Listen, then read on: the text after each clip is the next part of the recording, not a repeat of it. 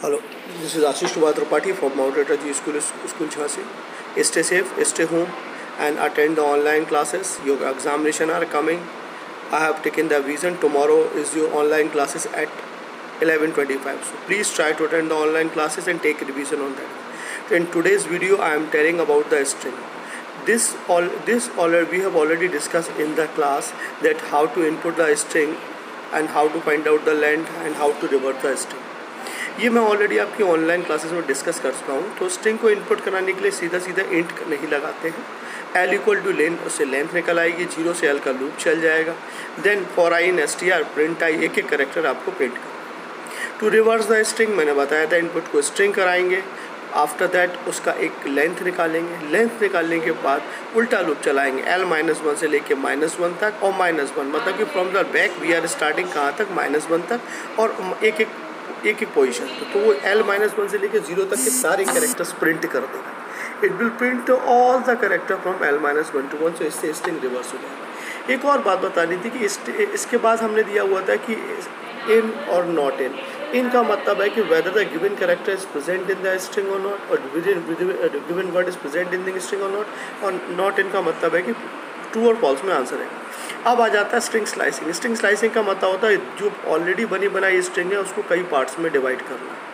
ठीक है? तो यहाँ देख लीजिए, हमारे पास वर्ड अमेजिंग है। अमेजिंग को ज़ीरो टू सेवन में सारे करेक्टर प्रिंट हो जाएँगे।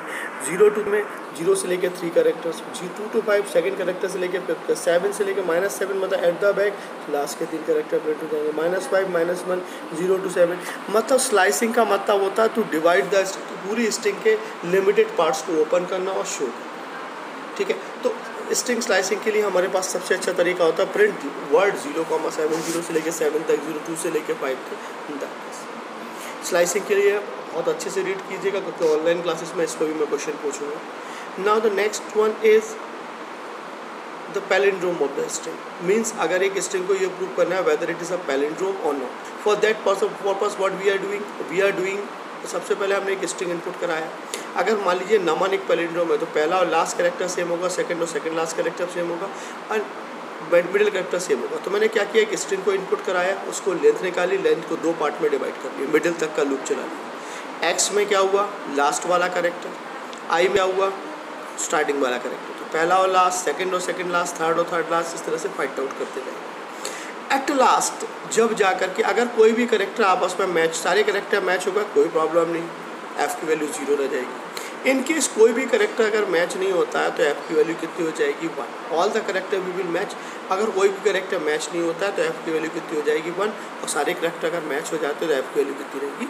Zero this is the this is to find out the palindrome of dust palindrome का मतलब से मलयालम में it is a palindrome M A L A Y A L A M दोनों side से चेक करो it is a palindrome now the next one is next one is about the string मैं आपको बिल्कुल क्लियर कट करना चाहूँगा कि book से सारी की सारी स्ट्रिंग के क्वेश्चंस को बहुत ध्यान से you have to read all the part और साथ साथ लूपिंग क्योंकि यही दो चैप्टर्स हैं that we have studied in the for the examination so please go through these chapters and thoroughly पूरी चैप्टर को रीड कीजिए। अभी भी ऑनलाइन क्लासेस दो ऑनलाइन क्लासेस में फ्राइडे और सैटरडे को आपके लिए लूँगा। So you can attend the online classes anything the doubt about the string how to input the string how to copy the string how to delete the string how to copy the character of the string how to हाँ बस एक चीज़ possible नहीं है Python में कि एक string के एक करेक्टर को दूसरी स्ट्रिंग में कॉपी नहीं किया जा सकता। कि stay safe stay home be sanitize thank you and prepare for upcoming examination